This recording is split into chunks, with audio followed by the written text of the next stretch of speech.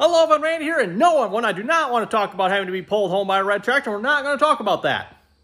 So what happened here, everyone, is the uh, belt has actually come off here. It's not actually uh, broken, it's just off the uh, pulley here.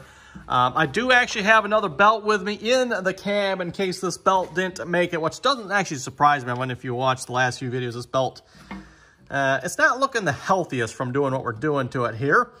So had another belt with on hand, could have changed out everyone, except for the fact, if you look at this, um, what I'm calling an idler pulley back here, I don't know if you can see that back in there. Yeah, something's wrong with that idler pulley there. So we're going to have to get the alternator off here. Uh, I do have a brand new uh, belt. There's also another one in the cab. It's the same one as this though, so I figured I'd, I'd, get something a little different. This is supposed to be a much, much better belt. Also like, uh, not 10 times, probably like five times the price of this belt though. So yeah, at least five times the price of that belt. So a lot more expensive. Um, I don't know, is that going to do the trick? I don't know, everyone. We're going to give it a try, though.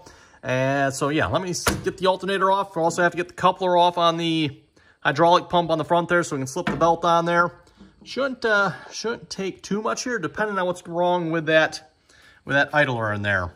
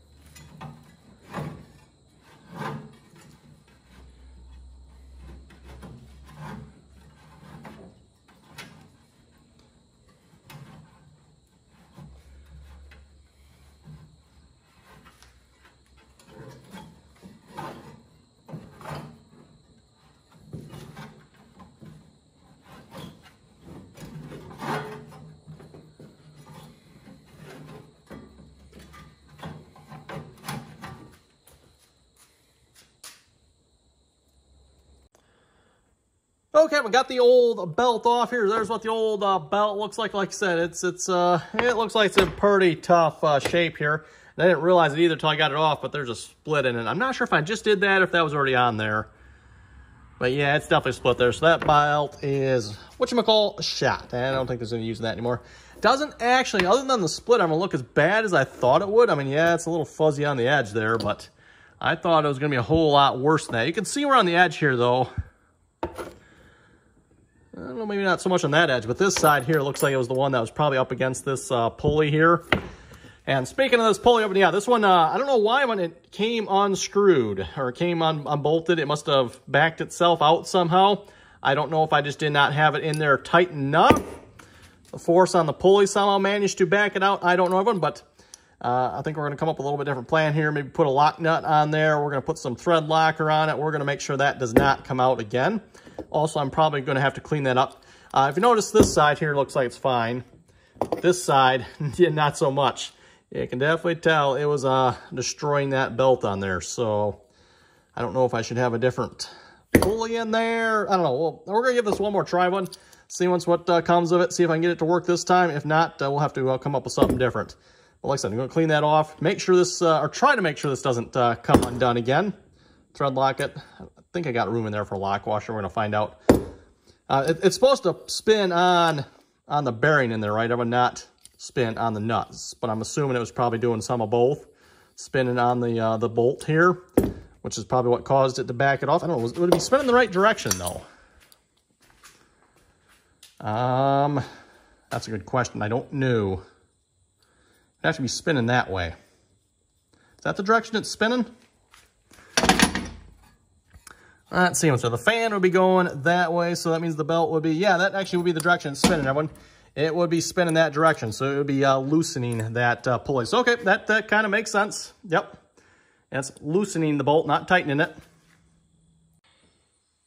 Okay, I think we're ready to go back together here already, everyone. Uh, I uh, just took a wire brush, just uh, hand wire brush, and uh, ran that over this. Looked like cleaned it up uh, pretty good. Notice I got a lock washer on there now. Also got some uh, blue Loctite. We're going to put that. I'm not going to put the red one. we're not going to do that. Also, I got some brake cleaner. I'm going to clean that hole out here first. That's the hole where it is. Uh, just to make sure the Loctite has as good a chance as possible setting up properly. Uh, just a little quick story. We had this actually at work. Uh, we were assembling locks. We started getting customer complaints. Everyone, it's because the lock manufacturer, uh, they were putting something on the threads when they were cutting it.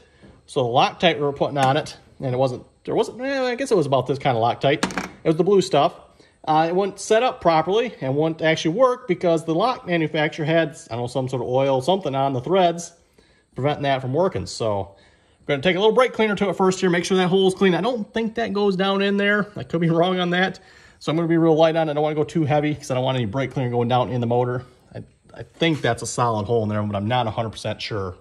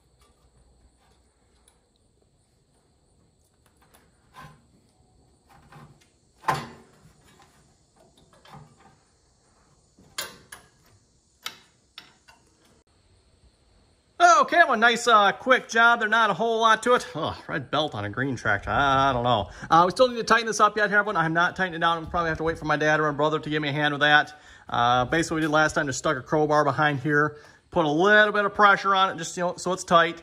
And uh, that seemed to work last time. Why it destroyed the belt as quick as it did, I don't know. I didn't think the belt was that tight. Uh, maybe it's just that pulley all along. That's what I'm hoping. I'm hoping it was just that pulley all along that, uh, that came out there.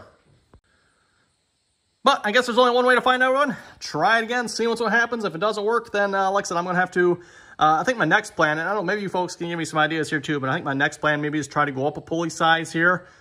Maybe try a two and a half or maybe a three inch pulley because uh, we seem to be spinning fast enough, so I can maybe get away with a larger pulley. I don't know. It's worth a try, I think, if this doesn't work. Or maybe I need to do something different with this uh, pulley back. I don't know. We'll, we'll see once with the thread lock and the lock nut there will help with that. Actually, I forgot to check if that was threaded in. Oh, yeah, you can see it sticking out. See that little shiny bit right there? That's the one that's uh, sticking out there. So, uh, yeah, what happened, everyone? I was uh, coming home from my uh, grandparents there. That was the uh, day we're working on the, uh, cleaning out the, the ditch there by our place. Uh, I was on my way home two miles from home. Uh, I had tried on the way home to kick the air conditioning on and it, you know, it kicked on and I was like, wait a minute, the voltage is not rising. We're sitting at like 13 volts. I'm like, that's, that's not, uh, not a very good number. It's like, well, I'll just take it off. It wasn't overly hot that day. Uh, so yeah, shut it back. Well, actually, by the time we were coming home, it was pretty nice out. Uh, the rest of the day was kind of warm, but when we were coming home, wasn't too bad. I uh, got about two miles from home, everyone. And it's like, oh, the engine temperature's rising. Uh, engine temperature's rising a lot. Uh, it's like, oh crap, I'm thinking something happened here. So quick stop, shut it off. Uh, we got up just to the red, everyone. So it got up to the red and that was it. Um, see the gauge here. Got to the red and then it stopped. So it didn't go into the red, but we got to the red. It's like, oh boy. And of course, I mean, you know, if you shut it off, it's not like it just instantly starts cooling down, right? Uh, you know, the temperature kind of keeps going up just a little bit there. So, oh well. Uh, hopefully we didn't do any damage to the engine with that. I don't think we did. I mean, yeah, it got a little hot, but hopefully not excessively hot. Uh, so yeah, I ended up, uh, got out, went and looked at it. I was like, oh, the belt's off. Okay, well, I can probably fix this here. And if not, uh, you know, I've got a second belt in the cab. But then I noticed the, uh, noticed the idler pulling back and it's like, oh, yeah, I could probably fix this on the road maybe, but I don't know what's up with that idler pulley. You know what, just give my dad a call. Came down with a Mahindra, pulled me home with the, uh, the red tractor. I mean, no, of course not. Uh, no, no, no. Can't be having no uh, red tractors pulling green tractors home now. That's that's just not all right. Uh, I will have to say though that uh, that red tractor had to work to pull this uh, green tractor. Everyone, uh, my dad uh, tried to start off there, instantly stalled the red tractor, killed it right dead. like okay, I, I, was sitting in the cab here. I was kind of laughing like, huh, killed the red tractor already. It again. He almost killed it a second time. He was quick enough on the clutch the second time around. It didn't kill it. I don't know what gear he had to drop it down into, but uh, yeah, he must have to keep dropping gears until he finally was able to get. And I had this tractor in uh, neutral, but I didn't have it in park or anything like that. It was in neutral. We were on. Actually, I think we were going slightly downhill, if anything. Uh, that uh, yes, either level or slightly downhill. One of those two there.